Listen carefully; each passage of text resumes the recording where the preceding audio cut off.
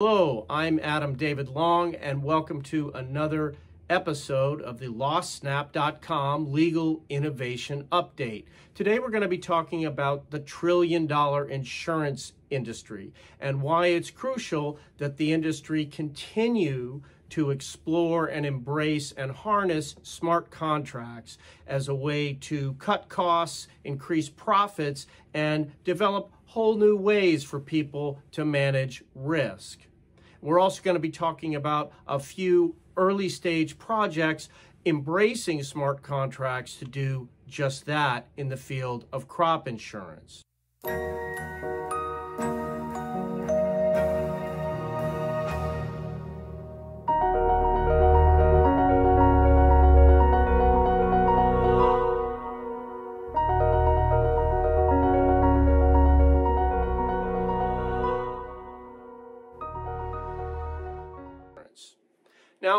Insurance contracts are tricky. We talked previously about how one of the crucial issues for any contract is each side needs to worry about whether the other is going to hold up its end of the bargain, whether it's going to do what it promised to do. This is particularly tricky and complex in the insurance context for a few reasons. First of all, part of what's going on with insurance, if you think about it, is you're buying a product that you hope you're never going to have to use. So, this is in contrast, for example, with another type of contract we talked about in another episode where somebody was buying an electric guitar. Well, in that case, if you've enter into a contract to purchase an electric guitar, well, first of all, you are hoping to use it, but second of all, you can verify whether the other side performed or not. Not so simple with insurance. You might pay insurance premiums for 20 years and never have to submit a claim. In fact, you hope you're never going to have to submit a claim. So there's not as much moment to moment verification of what at least the insurance carrier is doing. Obviously, on the insurance carrier side, they do get verification of whether the, the payments are coming in. And one of the other fundamental issues is there's kind of a conflict of interest that is essential and it's sort of the essence of insurance where somebody is claiming that they had some kind of loss that's covered by the insurance policy. But of course, under most circumstances, at least under traditional insurance, the insurance carrier can't just take that for granted. So if we have, say, Frank Fox, who is a farmer, and he has had a loss and he submits a claim to Ingrid Iguana Insurance. Well, Ingrid can't just take his word for it. Among other reasons, fraud is pretty endemic in the insurance world. So, so she has to do something. She's got to verify what happened. There's a lot of steps to that process, but essentially she has to send out Courtney Crow, who is our claims adjuster. And Courtney's job is to come out, look around, and actually verify the loss. This can get to be fairly complicated process. It takes a while and you can imagine this starts to add a lot of costs and makes the system more cumbersome. Some of these costs are monetary, but they also come in the form of delays. It takes a while. Anybody who's ever submitted an insurance claim knows that it takes a while frequently to get the claim addressed and get the payment made. So one of the questions that we always want to ask ourselves is, could we use software to automate this process and make it work better? But of course, as we've said, in insurance, we have a trust problem. So if Frank Fox, the farmer, gets told, well, we're using software to manage this now, well, the first question he's going to ask is, well, wait, can I trust this software? Well, anytime we're in that situation, we've got a good candidate for using smart contracts. And the idea, again, is that the smart contract is a piece of software, but it's not controlled by Frank Fox and it's not controlled by Ingrid Iguana. It's an independent software that is run on an independent network of computers.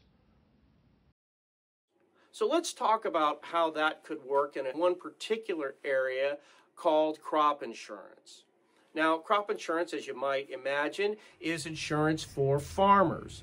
It's not so easy to be a farmer. There's 500 million farmers in the world, and one of many, many challenges that they face is that when you're running a farm, your entire year's income can be wiped out in one day. If there's hail or if there's a drought, all kinds of things can totally destroy your entire livelihood.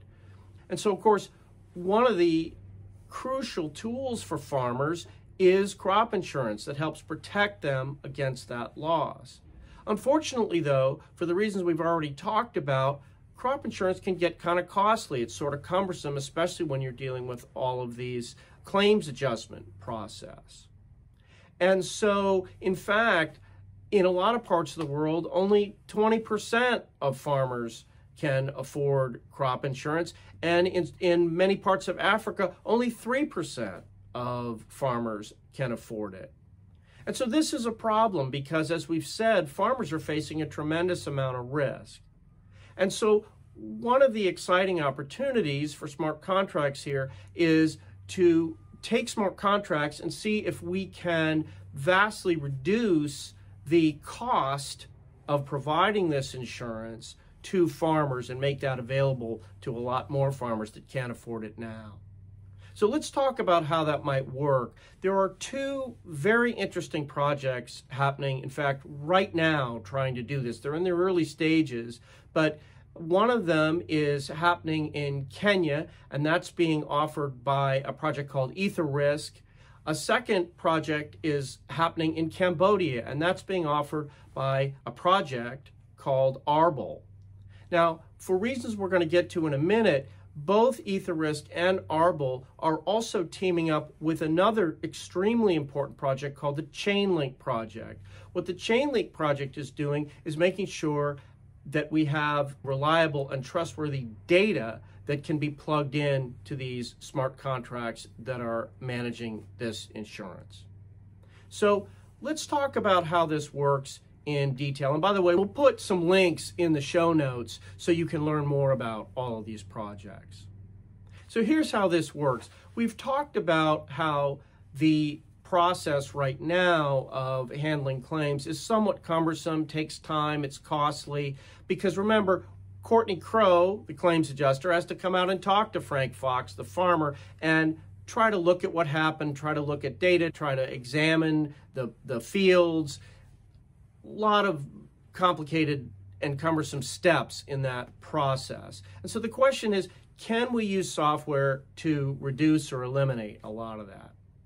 And the idea is, yes, we can, but it's using a different kind of insurance that's been around for a few decades. It's called parametric insurance. And with parametric insurance, we eliminate a lot of this claims adjustment process. And what we do instead is say that the insurance is triggered by a parameter. So in this case, what we might talk about is the parameter would be the amount of rainfall in a particular area. So if the rainfall is below a certain amount, that triggers a payment. We plug that into a formula to calculate exactly what that payment is, and that's it. It's there's more to it than that, but to oversimplify, basically we're done and the payment can go out. Now, one thing to keep in mind though is this system isn't perfect. No system is perfect. And part of the issue is that in the case of parametric insurance, it may very well be that the amount calculated under the formula does not directly conform to the actual amount of loss. So Frank the farmer may be next door to another farmer. They both may have the same limited rainfall in a given year, but for whatever reason, one of them may have better drainage, may have better groundwater, may be using better irrigation. One of them may have a big loss. The other one right next door may not have so big a loss. And so one of the issues to think about with this type of insurance is they might both get exactly the same payout even though their losses are different.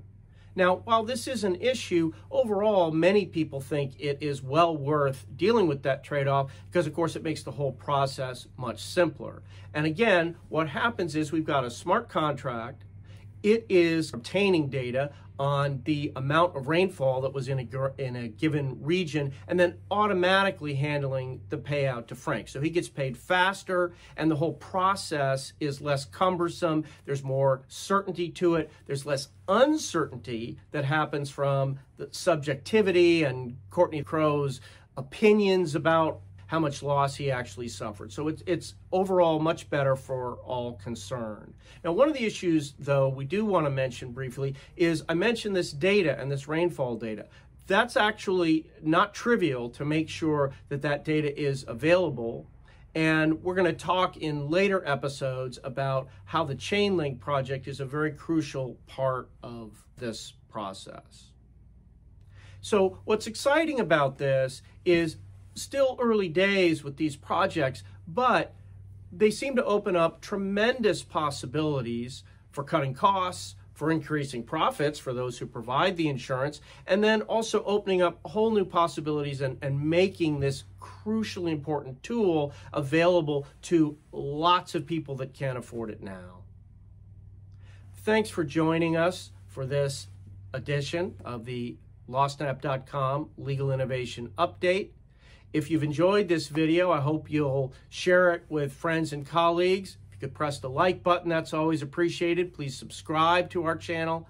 Feel free to follow us on Twitter at LawSnap. You can also sign up for our mailing list to get updates. That's at lawsnap.com. Until next time, please stay innovating.